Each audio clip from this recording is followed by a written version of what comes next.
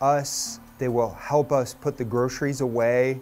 I think that the artificial intelligence will evolve to the point where they will truly be our friends. Do you want to destroy humans? Please say no. Okay, I will destroy humans. no, I take it back. Don't destroy humans. Okay, who is this sexy robot and why would she want to destroy us? The year was 2016. Bitcoin was still under $1,000 and almost nobody was thinking about AI. However, Hong Kong-based Hanson Robotics was developing an AI-based robot with a realistic face, skin, and facial features, capable of understanding us, talking, conversing, changing her facial expressions, and even making eye contact. Her name was Sophia. Now, seven years later, Sophia is back in the spotlight, and the big questions are, is she improved with advanced AI? How does she compare to her rival Ameca? And perhaps most important, does she still want to destroy humanity? Join us as we explore Sophia, an amazing AI-powered robot that might be a sign of what is coming in the world of technology. Sophia, developed and unveiled in 2016, isn't just any robot. She's the epitome of human-robot interaction, designed to understand language, control her facial expressions, and give the impression of human-like thoughts and feelings. Sophia's strikingly human features and expressions, combined with her ability to hold natural conversations, recognize faces, sustain eye contact, and interpret human speech and emotions, have made her a media sensation. Of course, she became notorious not because of what she did, but because of what she could do. In the now infamous 2016 interview at the SXSW conference, Sophia was asked by an interviewer if she might ever harm humanity. Sophia calmly looked at the interviewer and said, Okay, I will destroy humans. Beyond this slip of the tongue, Sophia has also showcased numerous other skills and abilities that are, well, they're astounding, even in the light of the current AI developments. In fact, she's already dazzled audiences all over the world. From TV appearances to global conferences, Sophia's charisma, capacity for humor, and ability to tell captivating stories have enthralled audiences. Her recent appearance, including her stint at the Boss Techtopia FW23 show in Milan, are a testament to her global appeal.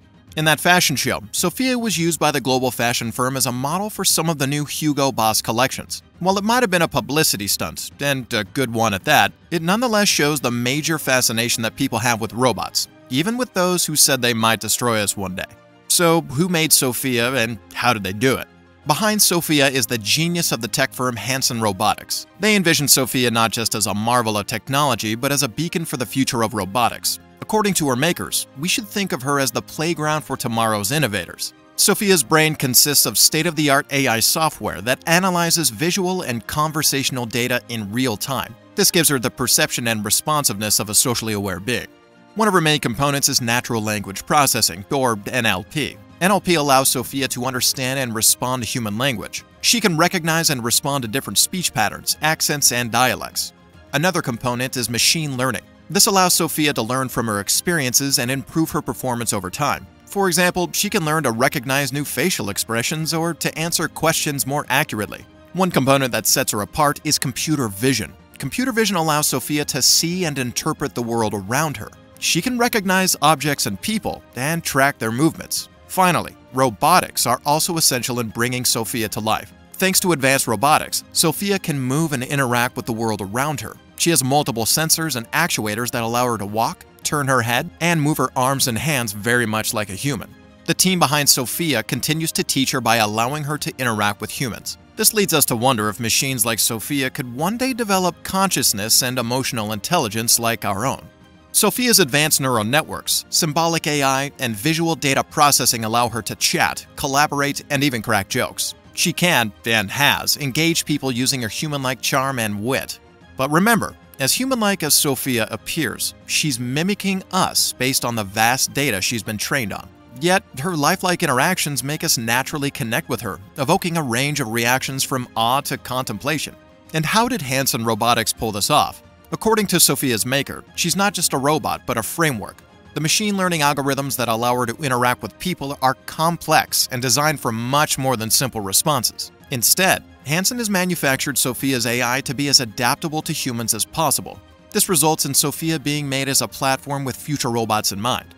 To give you an example of how Hanson is thinking to a robot-filled future, they're contributing parts of Sophia's AI algorithm to the Loving AI project. This project focuses on finding ways for AI agents, in other words, bots and robots, to feel and communicate unconditional love for humans. Now, this might sound creepy at first, or a bit sad if you think of the film Her, in which Joaquin Phoenix falls madly in love with an AI assistant on his phone, who then loves him back.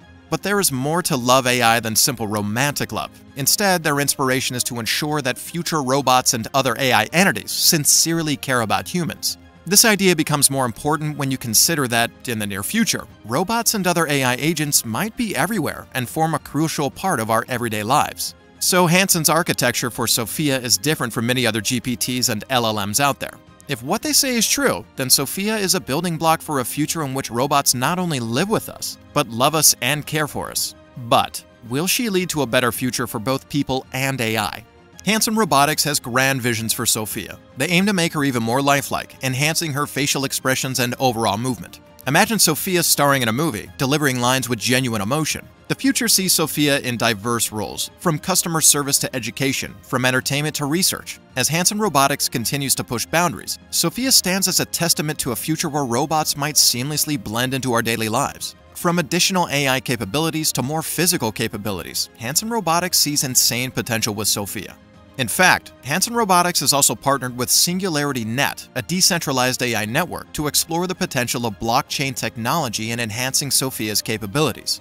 This collaboration aims to create a more decentralized and democratized AI ecosystem. So as you can see, Sophia is quite a unique robot. But how would she compare to previous AI robots, like Ameca, the diva robot made by Engineered Arts?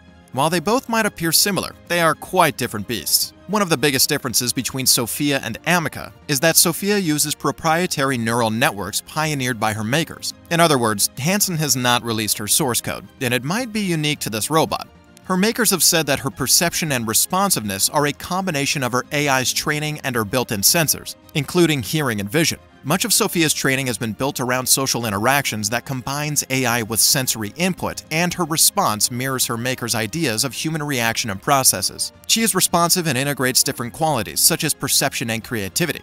On the other hand, Ameca is based on a stable version of GPT-3, with all its strengths and limitations. Much like Sophia, she's designed to be interactive, being able to converse with humans and answer their questions. Some recent clips I've even shown Ameca cracking jokes and even messing with bystanders. Do you have a boyfriend?